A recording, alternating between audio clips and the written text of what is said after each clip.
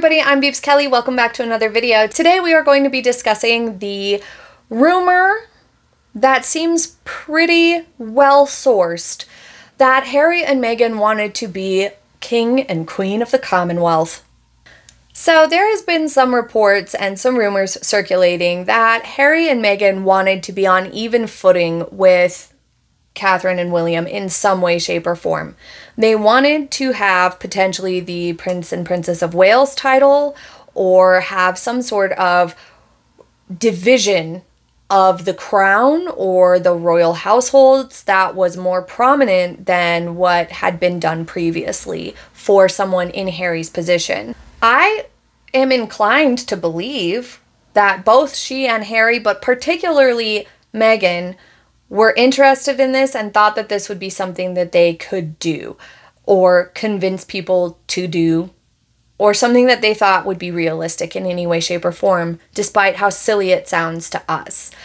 And I think that Meghan has clearly shown the ability to manipulate Harry pretty well. So I could imagine her manipulating Harry into thinking, you deserve this, this is what your mother would want, or even, God forbid, saying that this is what Diana is saying you should do. Which, by the way, I think I've said it before, but if your partner's deceased mother is speaking to you, then don't you think you should ask your deceased mother in law to speak directly to her child? Or perhaps just stay out of it because that's real serious grounds for manipulation and emotional toying with your spouse that could easily create a current of mistrust. Personally, I think that that is just simply a manipulation tactic that she is using on Harry, and I think it's pretty gross. I think it's really unacceptable, and I'm not sure why there's not more people discussing the red flag around her saying that Diana speaks through her to Harry. It's like gatekeeping someone's relative's memory. But anyway, you know, perhaps she was using that as a way to encourage Harry to suggest such a thing. The whole point of the monarchy of the UK is its unity. So, of course, you wouldn't divide up um, any sort of roles in that major of a way. They already made Harry and Meghan some pretty prominent roles and gave them gave them different titles they made a lot of exceptions for Harry and Meghan, and so perhaps that went to Meghan's head too, and she thought she could just start asking for other things or try to climb her way into a more important position to try to get onto even ground with Catherine, Princess of Wales, and Prince William. Who knows?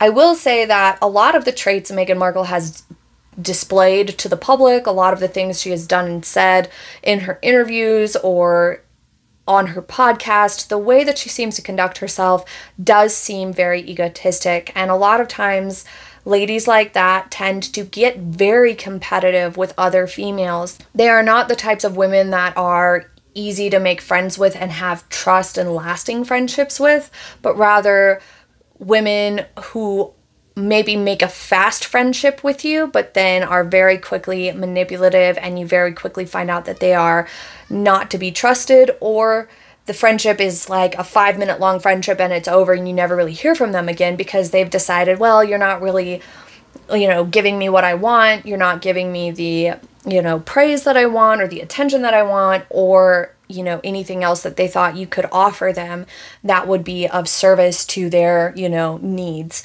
for whatever it is so i definitely see Meghan as one of those who would be very competitive with other women and may have been part of why she was so strange in her clothing choices because she wanted to try to compete with catherine's clothing and wardrobe. She wanted to try to outspend, it seems, in lots of ways.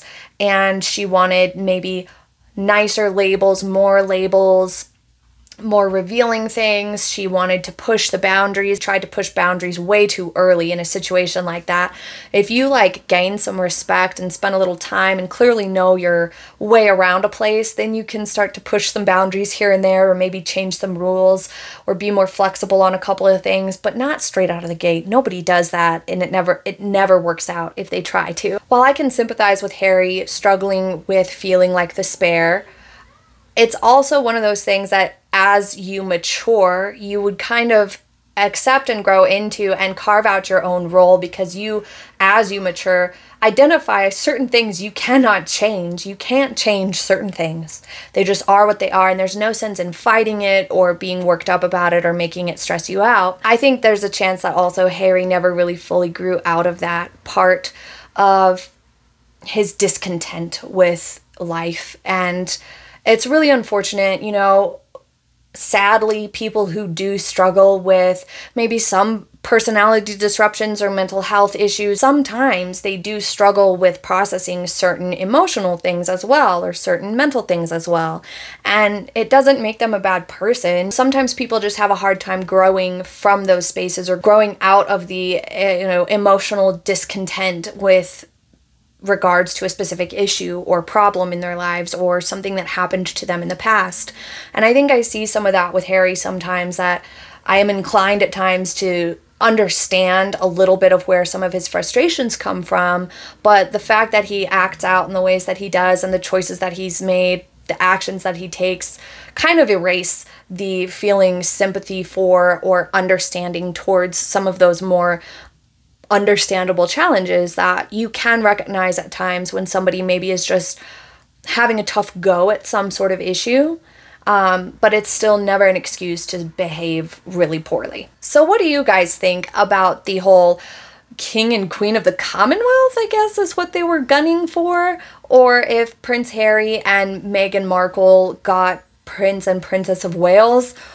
Oh boy, what do you guys think about that idea? Do you think there's any validity behind those rumors and those claims that that's what they were going for? Leave it in the comments. I can't wait to hear from you, and I will see you in the next video. Everybody, I just wanted to share with you this item that I got in PR that is absolutely stunning. It would make a wonderful gift, and it is a very high quality product. It's one of those practical gifts that can be elevated into something that is so beautiful, so quality, and so nice that it becomes a special, most favorite gift from someone. This towel is the most luxurious thing. It literally feels like a blanket. I have never felt a towel such as this. The inside is what you would expect from a luxurious high-end towel, but the other side, this decorative side, is so soft. It feels like a baby blanket and it is so beautiful. And it is a luxury item at a luxury price, yes, but we often spend the same amount, if not more, on family members. Instead, you could just get them this most luxurious towel, even one to share, and it's something that is so much more valuable as a gift than so many other things. We buy people things all the time that we're not sure they're actually gonna like and use. Imagine how much money we actually waste on bad gifts. This is not one of those items. This is something that people can use and cherish for forever. When you buy somebody something that is practical but elevated, it just brings so much more to the value of the gift. It's even big enough to snuggle two people inside. Have a happy day. Bye!